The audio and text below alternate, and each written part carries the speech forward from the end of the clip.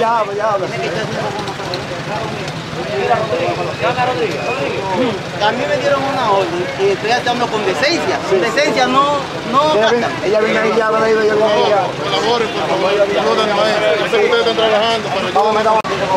Para no especular, eh, ¿de qué se trata? ¿De qué trata este operativo, magistrada? Es un allanamiento que estamos haciendo. Buenos días, buenos días. Buen día, buen día. ¿Pero de qué se trata el allanamiento, magistrada? Claro. Y bueno, en nombre de la familia Guzmán, eh, para que evitar confusiones, el señor José Manuel Guzmán, el, el allanamiento no iba dirigido a él, sino estaban buscando a alguien relacionado con el caso de la bomba de Iguerito. Eh, detuvieron algo por, a alguien por privacidad, no vamos a decir el nombre. La persona la llevó la dirección y los fiscales actuantes.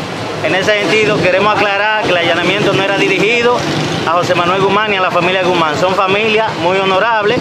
En este sentido, el amigo se estaba alojando en la casa simplemente por amistad, lo encontraron aquí y ese fue el detalle y la confusión que hubo.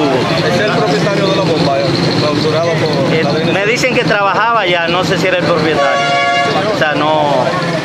eh, gracias a Dios eh, se aclaró que la José Manuel Guzmán ni, su, ni sus hijos ni su familia tienen nada que ver con este asunto, sino que andaban buscando a alguien y ya fue detenido. ¿A qué se dedica Manuel Guzmán? José Manuel es un empresario que se dedica a la reparación de vehículos.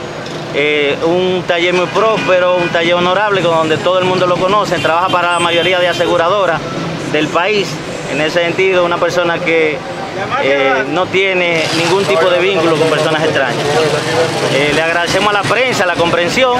En ese sentido, gracias a Dios todo se aclaró. Eh, muchas gracias por, por su colaboración.